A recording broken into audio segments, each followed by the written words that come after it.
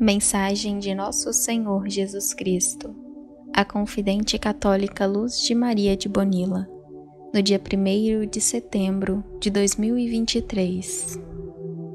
Meus amados filhos, abençoo-os com meu amor. Há tanto amor entre meus filhos que tenho que acordá-los.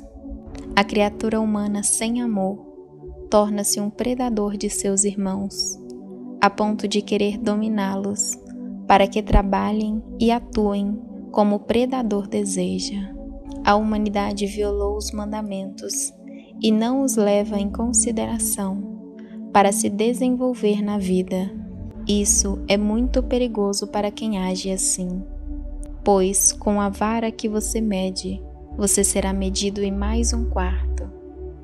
Filhos, é perigoso passar da humanidade ao orgulho. É apenas um passo. A criatura não percebe isso. Mas ao analisar sua forma de trabalhar e agir, se for honesto consigo mesmo, perceberá que se tornou arrogante. Isso deve ser levado em consideração por todos. Não diga não é para mim, é para todos. Criaturas inflamadas em seu ego humano sempre sabem tudo e nada sabem.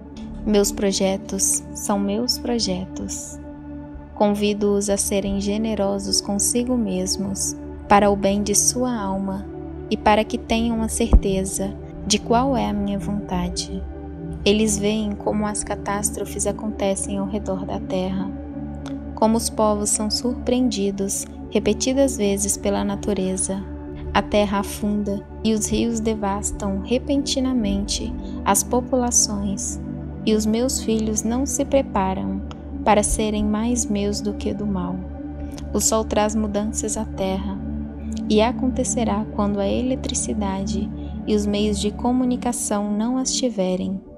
Será quando talvez eles façam uma parada no caminho e alguns voltem a olhar para mim e decidam mudar. Eu os alertei sobre o sol e como ele irá afetá-los, mas são poucos os que preparam para sobreviver sem eletricidade e sem tecnologia. Será quando meus filhos, forçados, voltarão a ser como seus antepassados e usarão vários métodos para acender, cozinhar e o que for necessário.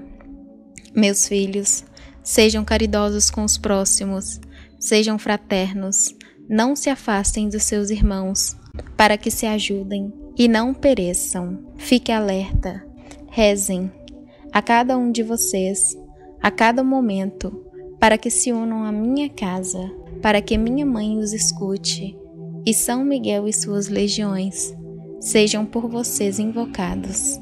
Meus amados, são momentos fortes em que vocês entram. São momentos de impiedade por isso é fundamental que permaneçam unidos à minha casa, unidos à minha mãe, implorando a assistência de São Miguel Arcanjo e de suas legiões. Eu te prometo, quanto mais fiel você for por mim e minha mãe, encomendarei mais um anjo para cada um dos meus filhos, para ser custódia, desde que façam a minha vontade. Continuem orando ao meu amado anjo da paz, a quem dará apoio espiritual ao meu povo. Eu o envio, eu o protejo e o guardo. Ele é um fiel cumpridor da minha vontade e os encorajará nos momentos de tribulação e solidão. Ele é o meu filho amado e filho amado de minha Mãe Santíssima. Não permitirá que continuem heresias ou sacrilégios. Eu sou seu Senhor e o seu Deus. Rezai, filhos meus, rezai uns pelos outros, para que prevaleçam fiéis a mim. Rezai, filhos, rezai. Nem todos os fenômenos que ocorrem, como da natureza, são da natureza, mas a ordem e a energia são alteradas em detrimento dos países.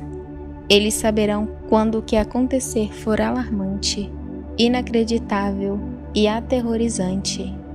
Nem tudo o que acontece é causado pelo homem impiedoso. Rezem, filhos, rezem. A doença volta.